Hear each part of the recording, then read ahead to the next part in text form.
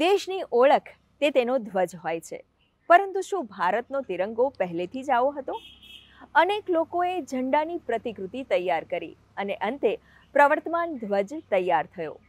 આ પ્રક્રિયા પૈકીનો એક ધ્વજ આજે પણ ગુજરાતના ભાવનગરમાં સચવાયેલો છે, જે સાક્ષી છે ભારતની સ્વતંત્રતાના ઇતિહાસનો, તેના બલિદાનનો. આ ધ્વજ અને તેના નિર્માણમાં એક ગુજરાતી મહામાનવનું અનન્ય યોગદાન છે. જેમનું નામ ભારતમાં સશસ્ત્ર ક્રાંતિના પથદર્શક તરીકે અંકિત કરી શકાય તેવા શ્રી સરદારસિંહ રબુભા રાણા. સ્ટુટગાર્ટમાં આંતરરાષ્ટ્રીય સમાજવાદી પરિષદમાં રાષ્ટ્રધ્વજ ફરકાવવાની છે.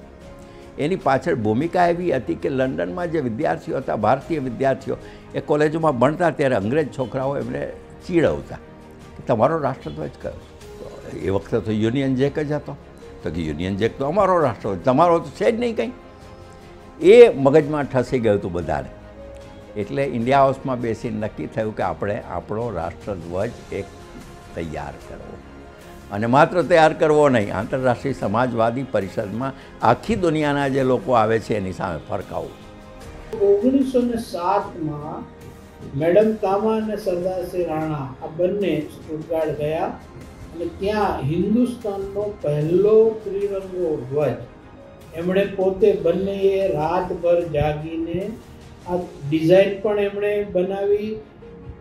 હાથે સોય દોરા લઈને, ટેવા લઈને આખો ધ્વજ તૈયાર કર્યો. ત્રણ સેટ તૈયાર કર્યા. આ ક્રાંતિકારીઓ હતા. એટલે એક સેટથી એમને થાય નહીં. એક જો ક્યાંકથી પકડાઈ ગયું હોય તો બીજું કામ લાગે, બીજું પકડાઈ ગયું હોય તો એ ડબલ દોરે ત્રણ દોરે કામ કરવાવાળા લોકો હતા.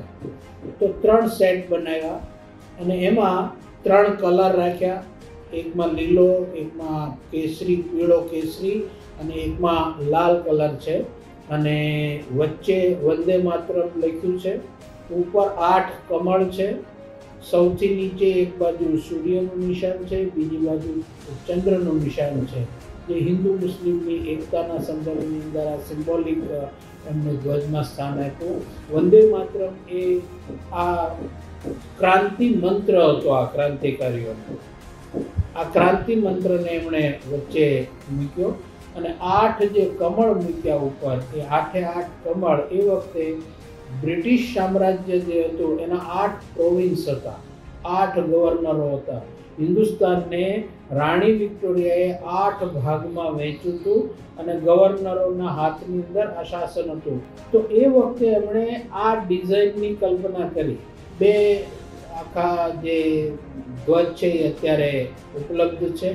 એક પૂનાની કેસરી છાપું જે છે, એની ઓફિસ છે, એની અંદર છે. અને એ અમારી પાસે, અમારા કુટુંબની પાસે, આ રાષ્ટ્રધ્વજ જ્યારે હિન્દુસ્તાન પહેલી વખત રાણાજી આવ્યા, ત્યારે એમની સાથે લેતા આવ્યા હતા. Madam Cama Sardarsinh Rana mister Hyndman, આ બધા પછી એ પરિષદમાં ભાગ લેવા ગયા. અડચણો બહુ પડી કે નહીં, આ તમને તો, તમે તો ગુલામ દેશ છો. ગમે તેમ કરીને એમણે સ્થાપના કરી પોતાની. અને પ્રસ્તાવ મૂકવામાં આવ્યો. રાણા સાહેબ અને મેડમ કામા અને મિસ્ટર હિન્ડમેન ત્રણેય તૈયાર કર્યો. એ પ્રસ્તાવની સાથે મેડમ કામા મંચ ઉપર ઊભા થાય છે. તો એક એક ઐતિહાસિક ઘટના કેવી છે? અને ધ્વજ ફરકાવે છે.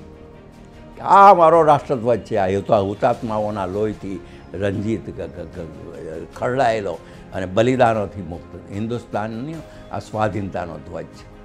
એટલું કહીને એમણે આખા ઠરાવની વાત કરીને પછી છેલ્લે એમ પણ કહ્યું કે અમારા રાષ્ટ્રધ્વજને સન્માન કરવા બધા ઊભા થયા અને આખી પરિષદ ત્યાં ઊભી થઈ.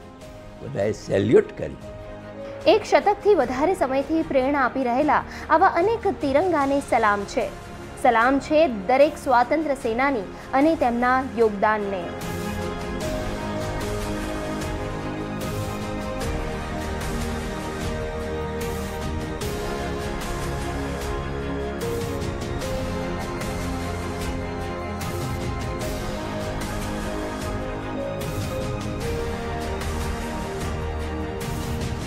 ગુડ ન્યૂઝ ગુજરાત માટે ગુડ ન્યૂઝ ટીમનો રિપોર્ટ